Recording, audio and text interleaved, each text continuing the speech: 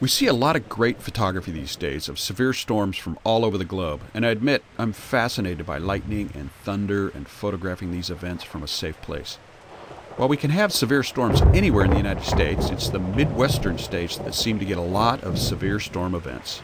It has become pretty popular among those who call themselves storm chasers to visit these areas that seem to have the storms occurring on a regular basis. It used to be that those who were called storm chasers were doing it for scientific and research purposes, putting themselves in front of these storms to collect data and observe the storm behavior. But storm chasing has become even more popular among the general population, including photographers and filmmakers. While they all might have their own reasons for doing this, photographs, video footage, and the adrenaline rush are some of the reasons. I recently learned that my good friend and veteran wildlife photographer Laurie Excell has been chasing storms for years, and it so happens she just returned from Oklahoma doing just that. So I messaged her to find out if it was possible to chat with her about her recent trip shooting storms in the Midwest. And get this, she was conducting a storm chasing workshop. Laurie happily agreed, and so today she's joining us here to tell us about storm chasing. Hey, Laurie, thanks for joining us. And looks like you uh, have some great stories to tell us about your recent storm chasing photo workshop. Hi, Charlie. I do. It's great to talk to you, and I'd love to share some of the stories. Um, we had an amazing time.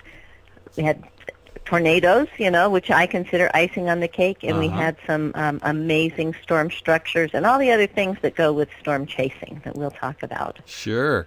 Well, that sounds very cool and amazing. But, you know, my first question is is it safe? You know, Charlie, almost everything I do, people seem to ask me that. And I don't really consider myself somebody that goes out and take risks. I just think, is life safe? And with that in mind, storm chasing can be done safely, yes, if you, you know, take the right precautions and you're prepared. And we'll get into that when we uh, talk about my recent adventure. But it can be done safely, maybe with a little calculated risk. Sure, sure.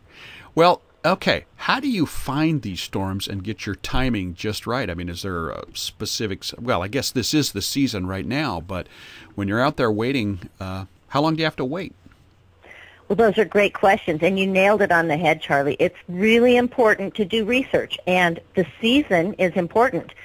While nowadays, I bet you could do research and find out that there's tornadoes almost every month anymore in the U.S., but there is a season, and typically from April through July is prime tornado or severe weather season in the Midwest. So firstly, I came during prime season. Secondly, I go with experts, and that makes all the difference in the world. Uh, they know where to go, and they know how to get us there safely. Sure, sure. Okay, so you're going out there with a group, and they help you find the storms, and it's at a time when you pretty much are uh, guaranteed to see something. So, what kind of equipment do you take? I mean, my first thought is I'm not going to have my heavy backpack and tripod if I've got to run and jump in the car and take off. So, how do you prepare equipment wise for making sure you get everything? Well, you're right about that, Charlie. You don't need a lot of equipment, and in fact, it can become cumbersome. And if you know you weren't really careful, it could be life-threatening if you're sitting there flailing around with equipment. We don't get in those situations, so it's not life-threatening. But you do need to get in and out of the van quickly, both to um, stay ahead of the storm for your own safety, and also to stay ahead of the storm for the great photo opportunities. So, is there a trick to shooting storms? Um, you know, how do you get all that great lightning, and how do you get all those funnel clouds and that sort of thing? Any tricks to the photography part of it? You know, um, there's a few tricks that I would love to share with you. I've got some photos to illustrate them as we go along, so okay. we'll get to those in just a few minutes, if yeah. you don't mind. That sounds great. In fact, why don't we go ahead and jump right over to those pictures? Sounds great. Well, since most people, when they associate storm chasing um, and photographs, they all think of tornadoes. And as I mentioned earlier, to me, a tornado is the icing on the cake.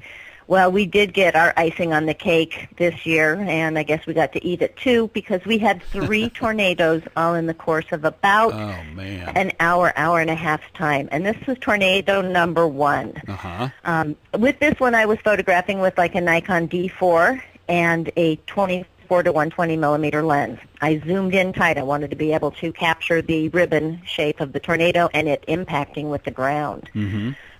We then jumped in to the van and started chasing some other dramatic cellular structure where we were beginning to see rotation. Mm-hmm. And within just minutes out the side of the van, we saw this next tornado popping up right before our eyes. So we raced and got in position, jumped out of the van, and captured tornado number two. And as we were watching it fall apart, from it another tornado spawned, and we were able to follow it and get a third session with tornadoes. So, you know, tornadoes are fantastic, and we were really fortunate because these were very photogenic. Wow, they're amazing. And of course, I love severe weather. I love thunder. I love lightning. Of course, I want to be in a very safe place. But this stuff is amazing. I, I'm thinking that first tornado's coming right for me. so I'd probably be shooting and running at the same time. But uh, Well, sounds like you're at great distance. that. We, and you know, we actually are at a relatively safe distance. We're at a safe distance. Um, sometimes it depends on the direction and the stability of the tornado, and I know that sounds strange. Um, they can change on a dime, but some you can watch and they just have a path, and you Mhm. can stay out of that path and keep watching them safely at a at a semi close distance. But again, you always have to have like an exit strategy. What is the road network like? You know, how close is the van? Things like that. Right, right. Wow. But you mentioned Totally lightning. amazing. You know, to me, I'm I'm a severe weather junkie too, and I would be perfectly happy even if we didn't get tornadoes if we could get lightning. Yeah. And I absolutely love lightning, and we're really fortunate this trip because we were able not only to get some great lightning, but we got it in conjunction with supercells and giant storms.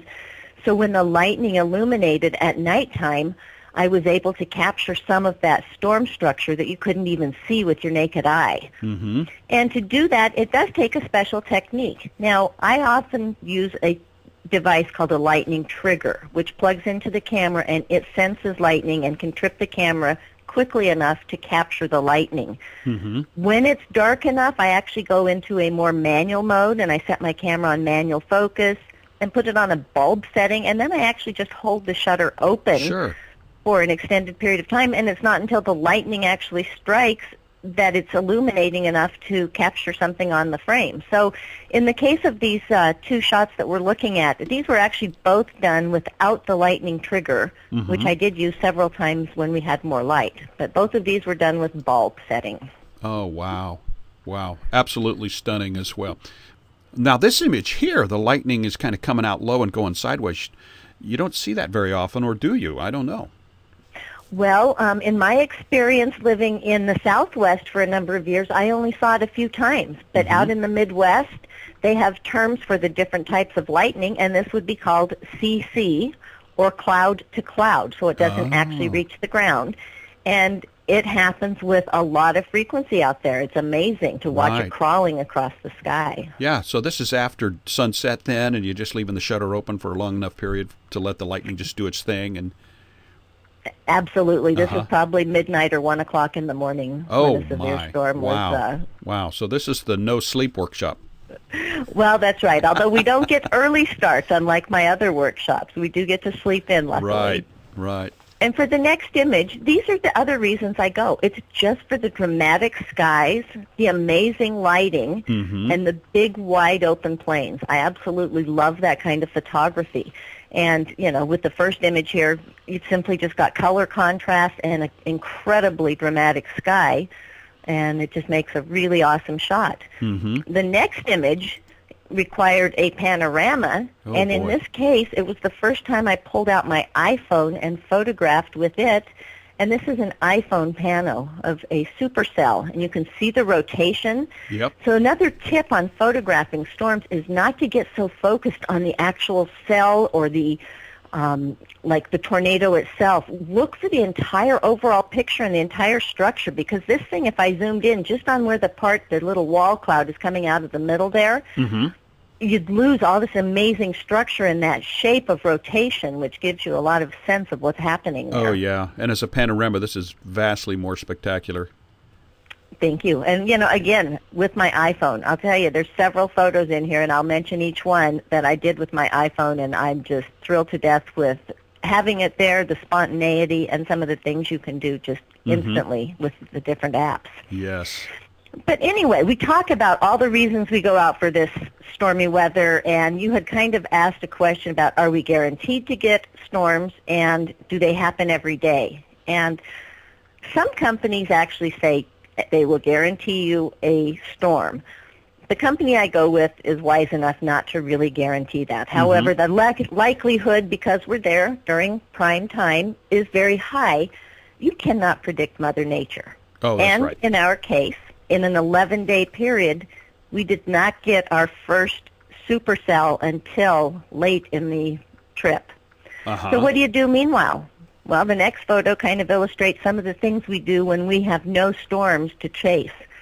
It's amazing out in the plains. You've got these giant wide open spaces like I mentioned before. You've got fields just full and full of of yellow flowers or purple flowers and the skies still cloud up and you get beautiful dramatic skies. yeah, it's beautiful. So we end up spending time doing landscape photography. We visit uh, national landmarks. We went to uh, Monument, Colorado, which is the next photo. mm-hmm. And, you know, some people can get antsy because we did spend actually four to five days of not photographing storms. We at least knew there were some on the horizon. That probably helped.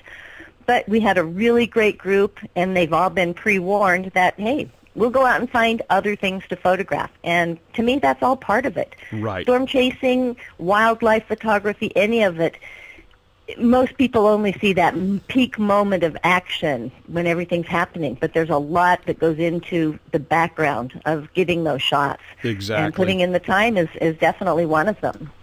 So Yeah. after we went through Monument Rocks and spent some time there, we just kind of perused Americana, if you will. And we went out looking for old barns like this next photo.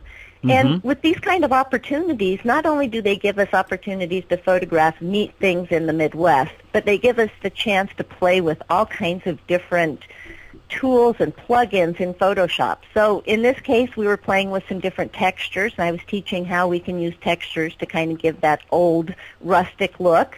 Uh-huh.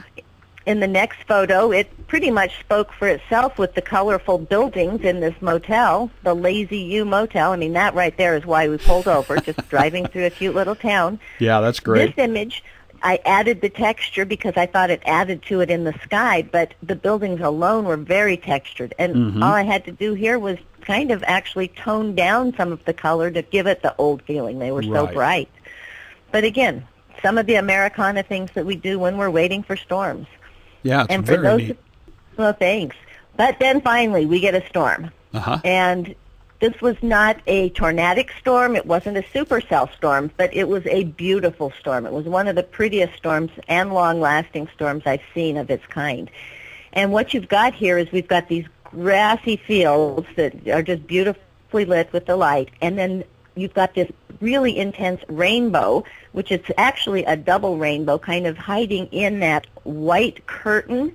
Uh-huh. That white curtain is not rain. That's actually a hail shaft. And we could hear the hail rumbling in the sky as we're photographing this. Oh my. And the clouds just moved and that shaft kind of came and went. And, you know, it was our first storm and we were absolutely thrilled to death. So we photographed that. We kept following it as it was moving along. And in the next frame, it shows it as it's just moving on past where we can follow because we had to get somewhere for the evening. But it just continues on. And again, big, wide open spaces just make for amazing sight. oh yeah. This is very dramatic. So we did finally get our first storm, and then we had a few more days of uh, dry spell, so we were back to photographing landscapes. And so a couple of ideas that we um, I want to share with you is, you know, when you're out photographing, how do you emphasize big, wide open spaces? Well, the next frame shows that via a panorama. It was a three-frame panorama that I did standing dead center in the middle of the road Mm-hmm. and it not only shows the wide open spaces, but it makes the clouds and everything, you know, the sky just seems so vast. And then, of course, we start hitting the tourist attractions. When you start getting, you know, three or four days into a north, no storm storm chase, you get desperate. So we went and found Carhenge. Yeah. Pretty fascinating place where somebody's uh, planted cars to emulate Stonehenge. But luckily Right. we had a great sky. And then we started looking for detail type things like the next photo. Uh-huh. And I just immediately pulled out my iPhone and just started playing with all the different details and the apps right there on the spot. That's mm-hmm. the other thing I like about the iPhone is I find that I can actually create an image in just minutes and it goes hand in hand with my big girl camera or my DSLR in that I have the ability to take that creativity and take it even further with my DSLR camera. But Right. getting the ideas and the actual impetus to do it in the first place, the iPhone really is amazing. And in fact, the next few shots of Americana were all done with the iPhone, processed in the iPhone, and simply um, projected here just Oh, for your yeah, viewing cool. pleasure. Yeah, I do a lot of iPhone photography myself. Uh, kind of when I don't want to put a lot of effort into hauling all the gear, it's just go take pictures to create, and the iPhone's perfect, or any smartphone. They are. Well, and any device, you know, even if it's a point and shoot, the, the question, what's the best camera, and that's the one you have with you. I think That's that right. was Chase Jarvis. Well, Yeah. you know what? It's, I take pictures that I never, I make pictures, I should say, that I never would have made in the past. Exactly, because I have it with me. So it's fun, you know. Just the next few pictures kind of show some whimsical um, approaches to Americana. Mm-hmm. Some of them I've been antiqued with the light coming through the window. I'd wait for just a slight breeze, and when it kind of blew the window, the curtain, I, I grabbed that shot. The next photo, I went more for a graphic type of look, Mm-hmm. where I was just getting the square shapes of the door and the window and the lines, and then that simple chair that's very colorfully uh, painted. But again, we're out there to photograph storms, so that's my primary focus. And if there's a storm to be had, we're going to be out there. Right. And in the next photo, photo, it illustrates not only the storm, but including people in the photo. It's a mm-hmm. great way of adding impact, scale, and human interest to something. You know, sometimes we get too caught up in just keeping the nature, and putting a person in the photograph, I think, is really helpful. So um, this shot here was with a iPhone, created a pano in iPhone, Mhm. and included uh, one of my fellow travelers. And the same with the next photo. I mean, this was as the tornado was falling apart, so I wasn't afraid of missing some great shots, but it's really awesome to show, okay, that's how close we were to the tornado. Having this fellow in the picture, you know, makes all the difference. Nathan was great. He was a perfect subject to put in a bunch of photos, but he, it adds scale. So I think that makes a really big difference. yes, it does. In the next photo, I think you, you'd asked, you know, what do you, what does it take to make a great storm photo? Well, I thought this one illustrated an awesome superstructure or a supercell and great, great cloud structure. And so some of the things that it takes, one, I think having a sturdy tripod is good. And yes, sometimes you're only out for a few minutes, but whenever possible, I would use a tripod. hmm Secondly, I think that dialing in some minus exposure compensation. I'm always watchful that I don't get blown out highlights and that I add some drama to the sky by bringing it down just a little bit. That darkness really adds impact. Oh, this is powerful. And then a final thing I think would be um, using an ultra wide lens. And in Uh-huh. this case, I was with a 16 to 35 millimeter lens at 16, and I even wished I could have gone wider. The sky Yeah. was so great, but ultra wide, just so that you can include the entire structure of a supercell like that. well, at 16 millimeters, that must have been right over the top of you, just about. Well, as a matter of fact, it was. and uh, shortly after it passed over the top of us, it did actually touch down um, with a tornado about 4 Uh-huh. miles away, which we missed, unfortunately, but we got to see the structure of the supercell, which, again, to me, in a lot of cases, is, far more uh, beautiful than some of the tornadoes. That yeah. Well, this is very powerful image. well, thank you so much. I mentioned earlier to include people in the picture, and not only that, um, hire experts. We were really, really fortunate on the trip I was on, and that is that we had a fellow, Jim Reed, who is a National Geographic photographer, um, professional storm chaser, and definite expert on web, severe weather along with us. And he was great both photographically and telling us about weather and things like that. hmm And I also um, had another fellow along who was the company I hired, Tempest Tours, and Bill Reid, who is one of the renowned storm chasers. Mm-hmm. And so I felt perfectly safe when we had these two guys. If they said we were close enough, I felt that we were close enough, and if they said we could get closer, then great, because I knew that they had their safety, our safety in mind. So that's really important is that you have, you know, professionals and experts and that they have, like this next photo is showing radar, they have sophisticated equipment in the van. They've got maps that show us exactly where we're going real time. They've got um, software that gives us storm updates. We let it lets us know when areas are warned for tornadoes, and it lets us know, you know, when things are approaching and when to get out of the way. So right. having that really sophisticated technology makes all the difference in the world. Yes, it's that would be great. Plus, it allows you to just focus on your photography, and when somebody says uh, the bus is leaving, get on. Uh, you just take your last click and go. I'll tell you what, there's something to be said for that. Without, I mean, I did have to worry that everybody got back in the bus, but I wasn't having to worry about our safety because I knew that these guys were on top of it completely. So, yeah. you know, that makes it a lot more enjoyable too, and it, it maximizes our time in the field. Right, right. Very neat. Well, I just wanted to share this last photo with you, um, and that is taken with an iPhone. Mm-hmm. And it was just one of those happenstance moments when I found this wonderful old windmill and a great sky and I had no sophisticated equipment. I just held the iPhone up, and I just happened to hit the button when lightning went off, and I I couldn't believe it when I'd actually captured it. But so when we talk about equipment, it is great having the right tools for the job, but don't get discouraged and think you can't make great shots because you don't have all the best gear out there. Yeah. You, know, you can get some really awesome photos with your iPhone as well, or Sure. a point and shoot camera. Well, this is an amazing stroke of luck. It seems like to click the shutter on the on the phone at the time the lightning's coming down.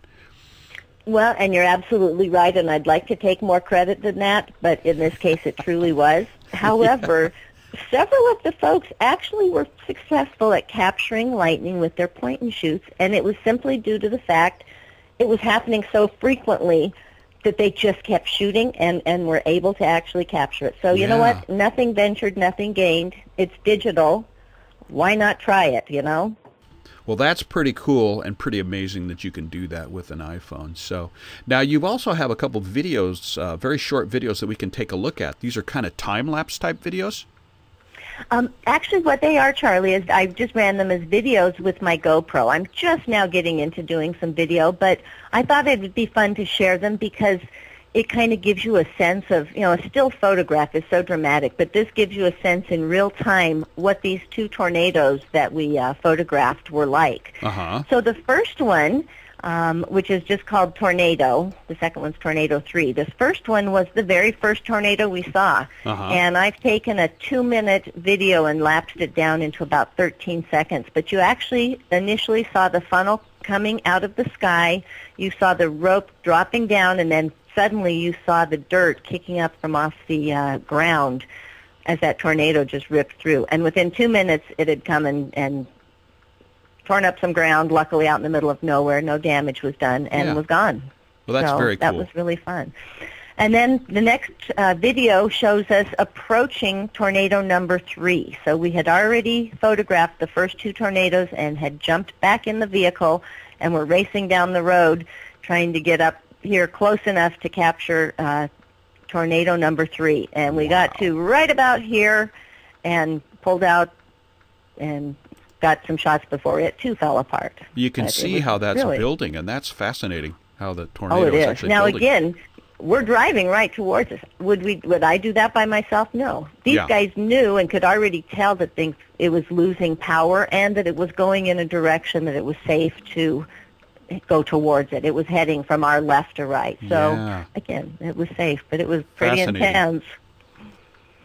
Very cool.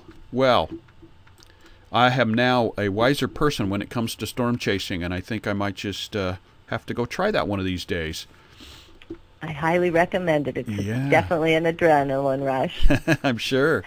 Well, very cool. Thank you so much for sharing that. So now let me uh, tell our viewers a little bit more about you. Um, you offer workshops in a number of locations, and you've got uh, wildlife in Alaska, uh, Florida, Cuba, and I imagine the Oregon coast is what's taking place there. You want to tell us a little bit about your workshops? Sure, I'd love to, Charlie. Thanks. Um, I specialize mostly in wildlife, but you mentioned Cuba. That's kind of um, an exotic, unusual location. But basically, I specialize in small groups and take people to locations that have very unique and unusual subjects. So Alaska, we go to photograph um, primarily coastal brown bears, grizzly bears, but whatever other subjects we find as well. The Oregon coast I love to do in the winter, trying to capture the dramatic waves. Um, I love to go to Cuba because the people, the cars, and the architecture are just phenomenal. It's like life stood still back in the 50s. And Florida is a great place to go to photograph birds. It's it's there's a plethora of subjects and they're very habituated. So you have great photo ops. And I just can't go a year without storm chasing. So that's on the itinerary for 2015 as well. Great, great. Well, there's uh, some opportunities for our readers to hit the road with you and go to some amazing places. And then also, uh, I'm going to mention very quickly your books. You've got uh, two books out now. Is that right?